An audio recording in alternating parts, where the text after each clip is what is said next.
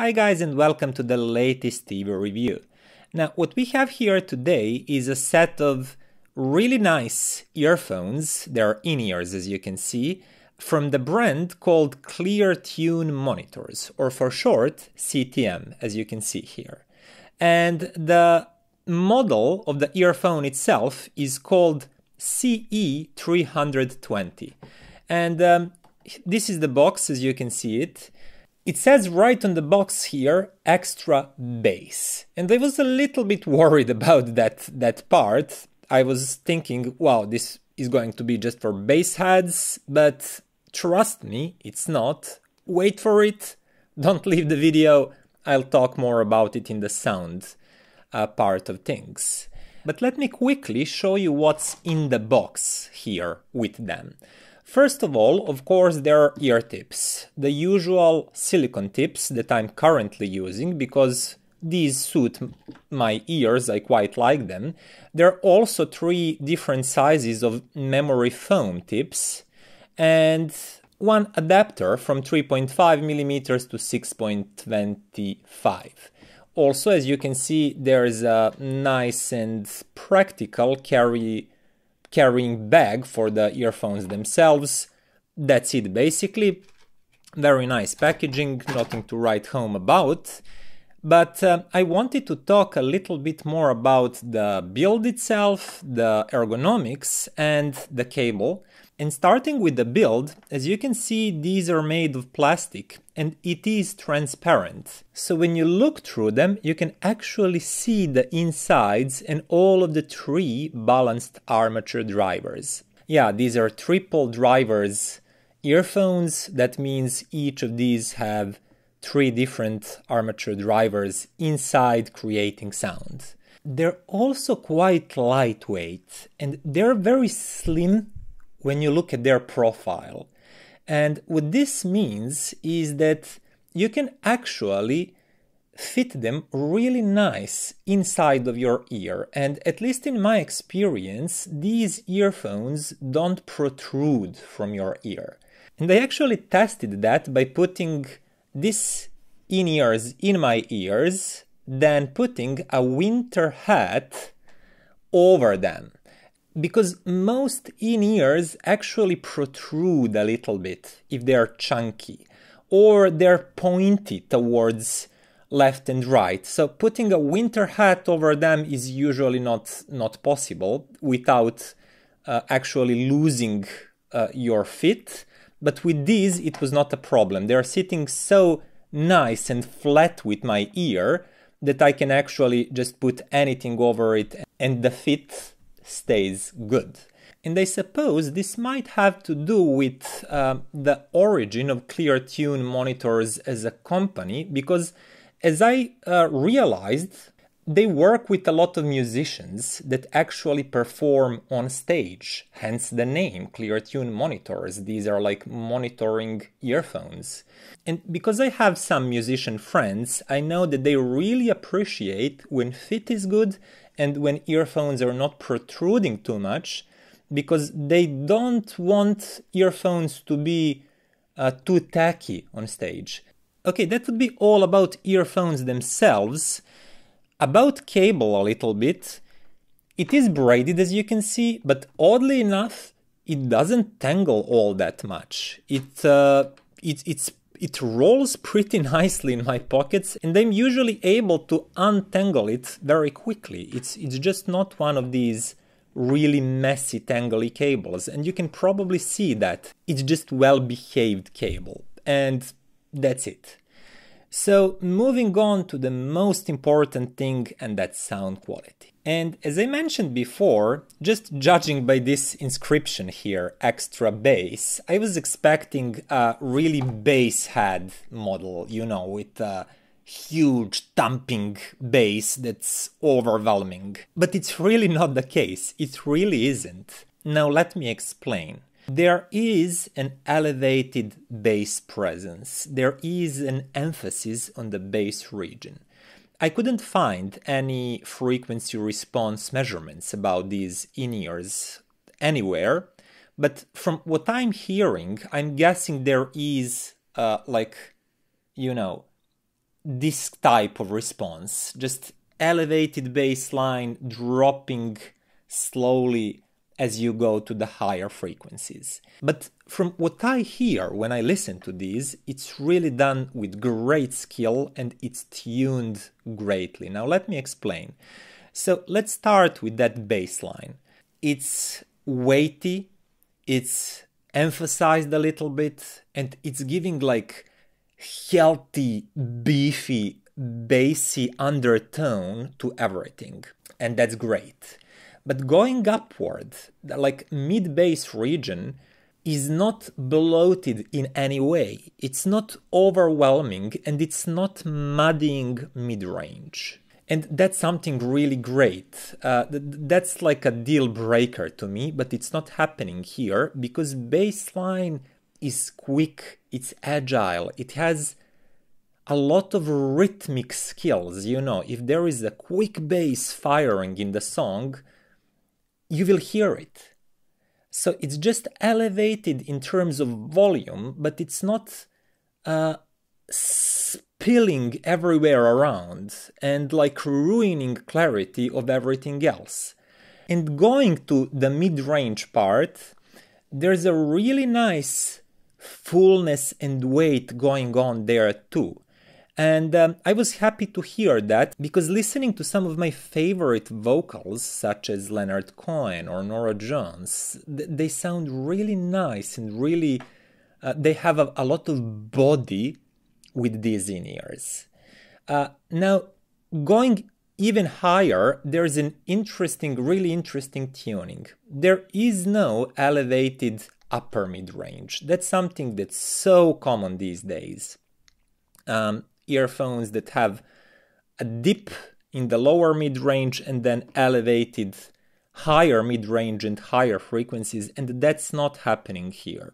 So there is no a hint of harshness or clawiness um, or excessive sharpness going on here. But don't get me wrong here. That doesn't mean they're not detailed because they are, they really are. It's just that presentation of those details is a little bit different. Instead of throwing them to your face, like many other in-ears do, and making them jump at you, elevating that presence part, that uh, transients part, these are actually like taking a step back. And you still hear those details. They just took a step back they sound a little bit more relaxed, a little bit more laid back, but you don't actually miss details because you know, real details actually come from speed, from agility, from time domain domain, the, the ability to have good resolution, and these do have that. Those type of emphasis that's going on when that presence upper mid-range region is emphasized it's actually just taking those small details and drawing them closer to you, drawing them into your face so you can notice them more easily. But here, everything is like nicely blended, and I quite like this approach, I must say that.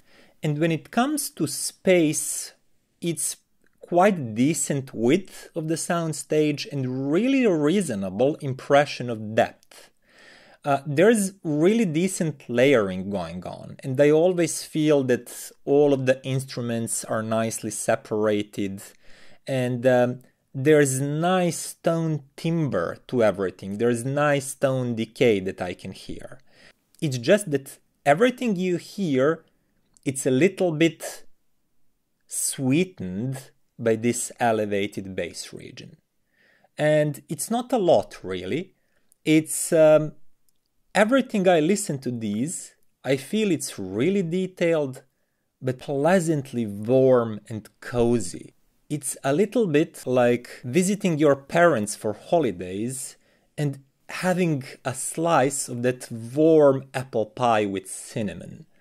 You know, it's just so warm and sweet. And who doesn't like apple pie with cinnamon? Are you nuts? Okay, but I, I really digressed here.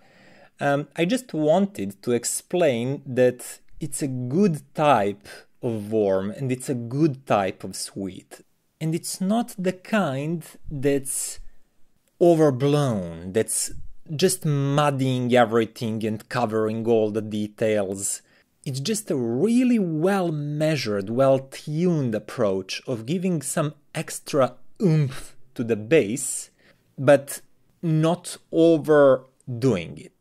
And it really works nice. Now, just to give you a little bit more insight in what I'm talking about here, um, for example, I'm using these in ears lately. It's a Kinera Freya, and you might have already seen this this review. I did it uh, some time ago, and I loved these. I said they have that type of warmish sound signature that comes from slightly elevated mid bass that's giving nice fullness to, to the mid range. But when compared to these, you actually realize that the mid bass is slightly muddy and it's not as rhythmic, as well controlled as on these CTMs. And when you go even higher, these do have that slight emphasis that's so common these days in the higher mid range.